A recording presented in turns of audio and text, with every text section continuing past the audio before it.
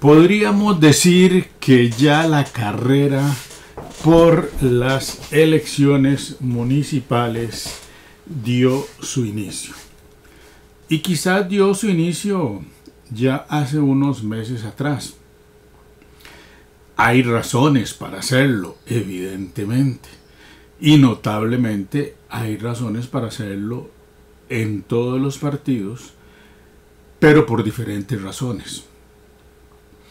Por ejemplo, a Liberación Nacional le interesa mucho el tema de la renovación partidaria.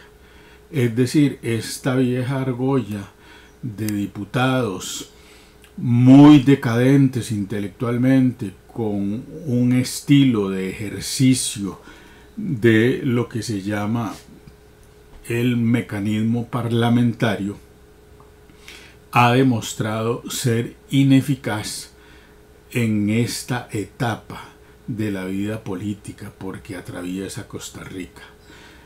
Muchos de esos diputados que repiten en la Asamblea Legislativa evidentemente han tratado de aplicar las viejas mañas y no les ha dado resultado. Entonces, bueno, ahí en la última asamblea del partido se nombra a un hombre joven que tampoco es tan joven, porque no sé, para mí joven es alguien que está entre los 21 años, digamos que le da para elegir un, un diputado, y los 33 años. Después de ahí ya se sigue siendo joven, pero, pero no tan joven.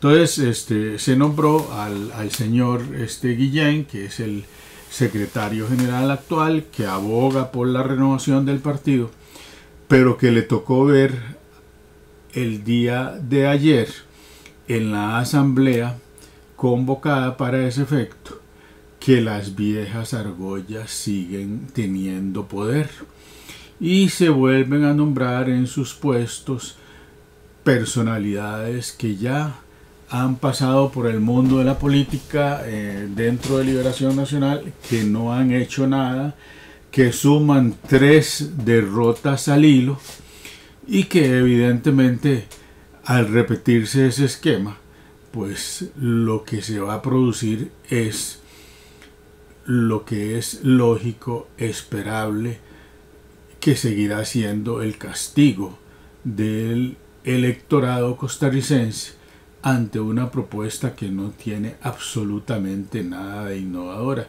Se repiten nombres. Para poner un ejemplo, Francisco Nicolás vuelve de nuevo a esas instancias y hay otros diputados, hay exministros, ministros, este,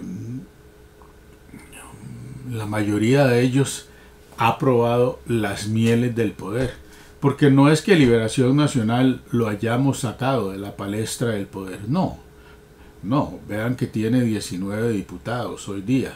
Tiene algunas instituciones en donde eh, ellos mismos planificaron la creación de esas instituciones para poder nombrar eh, personas, digamos, allegadas a ellos.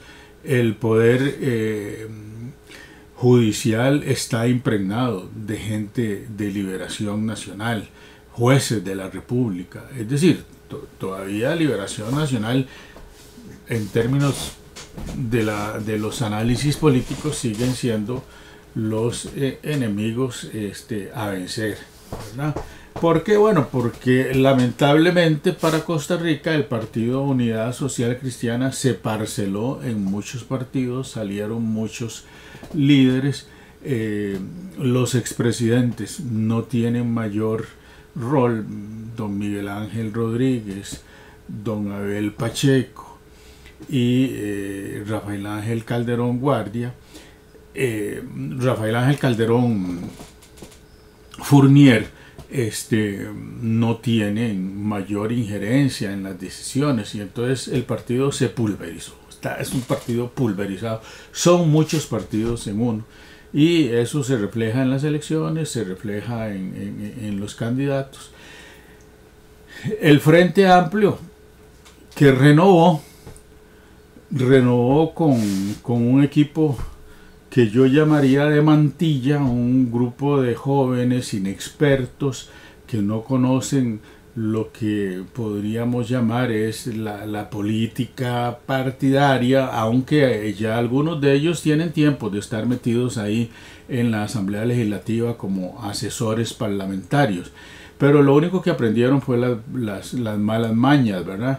Como cuáles, bueno, este, llenar los, los programas de eh, las discusiones de, de mociones, mociones que introducen una palabra para diferenciarla de la otra moción, ese tipo de viejos mecanismos que ya habíamos visto, eh, carretillos de páginas, ¿verdad? un desperdicio enorme de material, de tiempo y este un partido que se ha vuelto cada vez más conservador, menos renovador, eh, por ahí pasan eh, duran cuatro años, se pierden y se pierden del mundo de la política. Eh, están, mm, algunos de ellos están vinculados a, universidades públicas, regresan a, sus aulas y eh, se retiran de la política. Esa ha sido la, la trayectoria de este partido.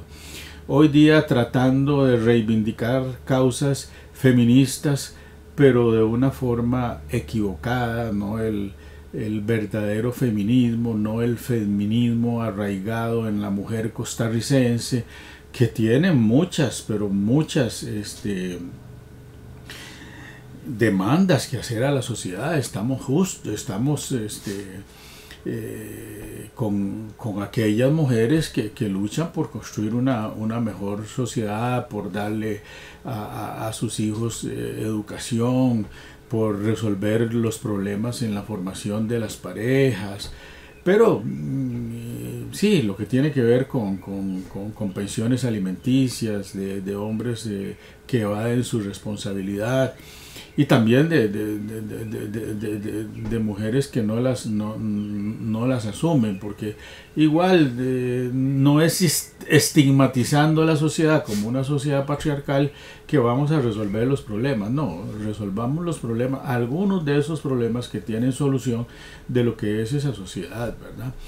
Eh, entonces ese viejo partido también, porque es un viejo partido nacido allá en los años 30, cuando, cuando lo funda Manuel Mora y Carmen Lira, un viejo partido que ha sobrevivido eh, siempre siendo un partido minoritario que en algunos momentos siendo minoría impulsó cambios importantes este, en legislación social. Hoy día no han aportado absolutamente nada más que y voy a decir la palabra más que yeguadas, porque eso de querer copiar modelos de sociedades en profunda crisis este, política, ¿qué le va a copiar usted a, Venezuela? ¿Qué le va a copiar usted a, a Cuba si son países que son modelos económicos fallidos? No, nosotros lo que podemos inventar es lo que es costarricense, el ingenio costarricense, el talento costarricense, valorar nuestra democracia en el buen sentido, las posibilidades de diálogo que nadie nos las ha negado, pero no el, irrespeto, digamos, de, diputados y, de diputadas mujeres que este, parten de un feminismo primitivo, de un feminismo que ataca, que golpea, que busca herir, y, es eso, ¿verdad? Es decir, siguen en, la vieja contienda sin innovarse.